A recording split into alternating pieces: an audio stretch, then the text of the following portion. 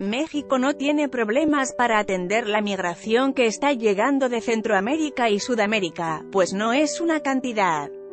representativa comparada con la población que se tiene en el país, aseguró Alejandro Encinas Rodríguez, subsecretario de Derechos Humanos, Migración y Población de la Secretaría de Gobernación. Refirió que en el caso de la nueva caravana migrante, expresó que no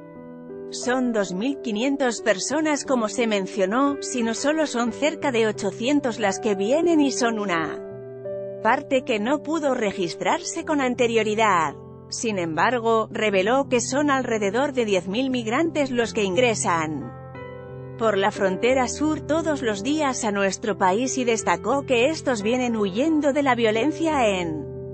sus países. Aseguró que todas estas personas tendrán que regularizarse y cumplir con la legislación mexicana, si no, tendrán que ser retornados a sus países. Encinas Rodríguez expresó que no hay cifras reales de toda la migración ni en México ni en el mundo, pero reveló que solo en nuestro país hay más de 2 millones de ingresos de personas por la frontera sur cada año. Por ello refirió que esas 10.000 personas es el promedio que se tiene todos los días y esa cifra no representa ni el 1% de la población total, cuando en algunos países